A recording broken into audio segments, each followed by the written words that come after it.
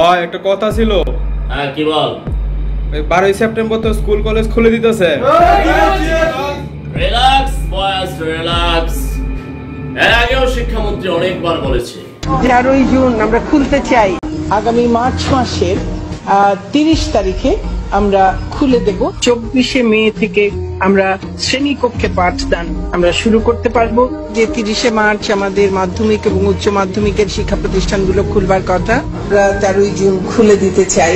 শ্রেণীকক্ষে পাঠদান শুরু করবার জন্য আমরা একটা তারিখ নির্ধারণ করেছি। বিশ্ববিদ্যালয়ে আমরা খুলছি ঈদের পরে। তবে এবারেরটা অন্যরকম খুলে যেতে পারে। আই লাভ ইউ, শিক্ষা মন্ত্রণালয়।